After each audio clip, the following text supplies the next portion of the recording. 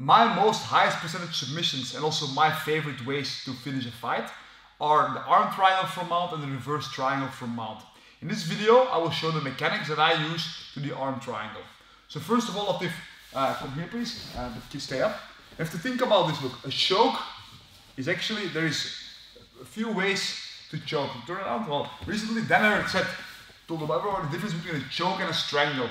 I always use the word choke just because of habit, but in fact, a choke would be you putting pressure on the, how you call it, the Adam's apple, yeah. and it would result in injury and destroying his, his uh, trachea, the, the, air, the airway, yeah. and just by constricting the airflow. Now that's usually a nastier way to choke people out. The strangle would be to put pressure on the side, on the, on the carotids, on the, and uh, constrict the blood flow, and this is the gentle way to put someone out. So even like a rear naked choke where you grab around the throat, if I catch like this and I focus on the choke, I would actually put pressure on the side of his neck between my forearm and my biceps. Whereas if I should go this, like uh, like garroting they used to call it, I think, if you put on the, the, uh, the Adam's apple like this, that is way more painful. And it also will kill him, but generally the, oh, you don't want that of course, but will also put him out. But the general, the, fa the favorite thing to do is, is to put a strangle where you put pressure on the side of the neck. So this is the same thing in the arm triangle. Now look, put your head over there please, and the feet over here. The problem with this, the problem with the arm triangle is if the person on bottom is laying flat on his back, then it's very hard to constrict the blood flow, I find. So when you're here, what often people do is to put forward pressure. And then this, this results into a crank, especially if you put your hand on top of the head. Now, you can argue is this allowed, is this not allowed, should you learn it? I think you should know it at least. I think beginners should be able to recognize what happens. Um, or your good friends and your worst enemies, I suppose you can you can train with it if you, if you relax. It, it's well, but you have to be careful with it in any case and, and recognize what it is to train it. But then in competition, maybe use it if it's allowed, and on regular training, in regular rules, be very careful with it. So let's keep the the, the, crank out of equation. So if I just put go here, see one there's like a few ways I learned the best in the arm triangle. One of the ways was just grabbing to my knee, lean forward, see, and go for the choke. Another was to lay on my belly and rotate in. And this is all true, but there is one big problem. Look, if the ball is on the floor, it's very hard to finish. The ones I'm here, do the baby bridge primitive. You can actually do both sides, head, head more backwards. Yeah, that is one way. Keep rotating more. Yeah, and keep going, keep going. If I would go with now, see, he can rotate belly down, and this can either result in him get walk, walk, walk, getting his head out. Get your head out. Yeah. Go to my back. Go back, please. Reset. Yeah. Or okay, we all the full reset is also fine. so go again. So rotate away here. I go with him, and if I go too close, he might actually use it to turn me over and rewind. Yes. See. Now, of course, there is more give and take in this in this uh, position. It might result in something good as well. But um, well, that's one way. The second way would be for him to baby bridge to the inside, to the other side. Yeah. And this is actually worse for me, I think, because if he rotates away, I can usually still turn into something good. Go back. But if he rotates to the baby bridge, yeah, it actually is easy for him to get his arm out. Now I could squeeze harder, but honestly, since I know the baby bridge, I don't think I ever, and this is since purple belt, I don't think I ever got arm triangled, at least not with someone close to my weight. Maybe like a big guy who can really, but even then I cannot even remember when was the last time. In any case, the arm triangle.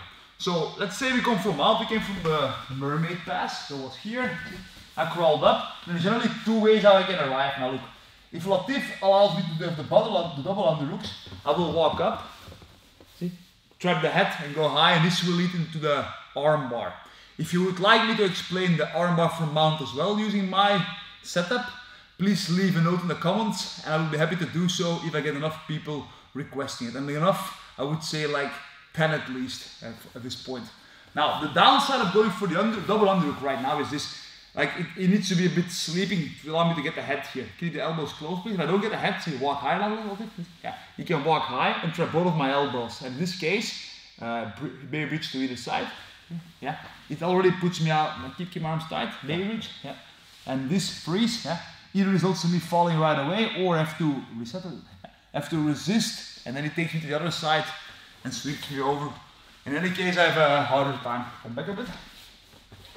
So Usually, what I do when I end up in the in the mount, see, I like to put this arm in. So usually here, put your. So I'm pushing my head up, please. Yeah. Then rotate away to that side when I go for the for the mermaid side on this side, the, for the mermaid pass. So I like to put my hand, see, inside his neck, the so this part of my hand, right beneath the thumb, go beneath the neck, and I keep like a tight grip here. See, push me away, please. Yeah, good. And keep my elbow trapped. Try to get your right arm out. Your right arm, yeah. The, the, try to get it underneath my, try to clear my arm. Oh. Yeah. This should be at least reasonably hard. Now, you can do it probably, but if I keep tight, see, close my elbow, this should take some time that I can, I can use to clear these arms. Keep putting pressure. So yeah. So I would turn away, please again. Yeah. So I will go up, see, push. Once I trap the arm, see, I will put my, so I block the arm with my elbow, bring my head outside, and then slide in. Now, at this point, it really depends on what Latif is doing. Look, often people in his case, like they will rotate to their bellies, see, and let's come back please. At the same time, keep pressure on your elbow, yeah, rotate away. And you could say, let's go to the back, but in general, I don't really like this transition because once I'm on the back, I have to completely reset my attack. I will be in a neutral back position, or even if he goes here and then goes back, yeah, he can turn into a mount escape right away. So I don't really like to go for the back.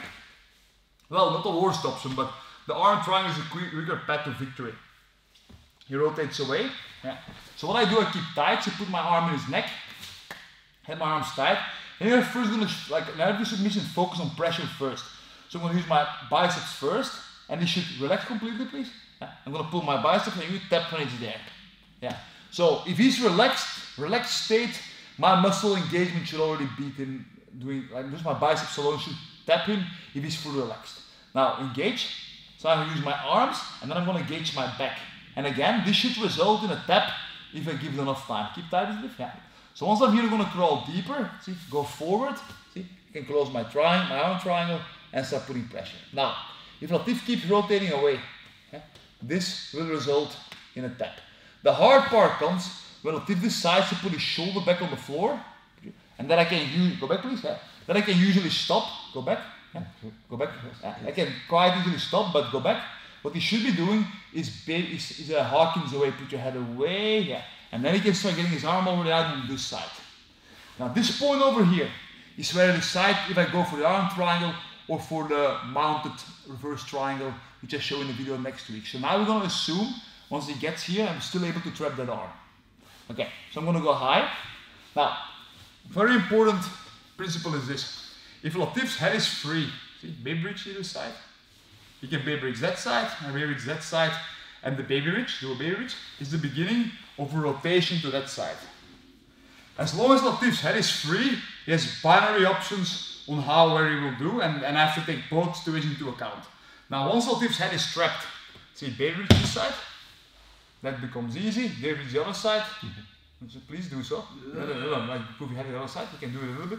See, like keep down. Move your head sideways. See, he can he can move a bit, but he cannot really bring his shoulder to that side. So it limits his options, the rotation to the side to the other side. So once I'm here, every time I have the option, see, I try to um, block his face towards this side. Now why is this? Look, once I'm here, if I put my weight too low, that gives the baby bridge. He will bring, I'll come back. Yeah, he will bring, baby oh, will, yeah, he will get his elbow out, that's the opposite side. So when I'm here, I will keep my weight to my left side, but still drop my hip, see, and put my shoulder in, see, over here. And make sure my head is tight enough to get, get his elbow out. Did get your elbow out? Yeah, should be hard. Now look, maybe ba make a baby bridge, please. Okay. The baby bridge, see, if I keep my pressure by keeping my hip up, maybe bridge more, better or worse? Mm. Worse, right? That's what I'm after. So I'm actually doing, a, doing my pressure in such a way that Latif's baby bridge make it, makes it worse. So usually the baby bridge is the way out if I'm just neutral, baby bridge, elbow is out, go back.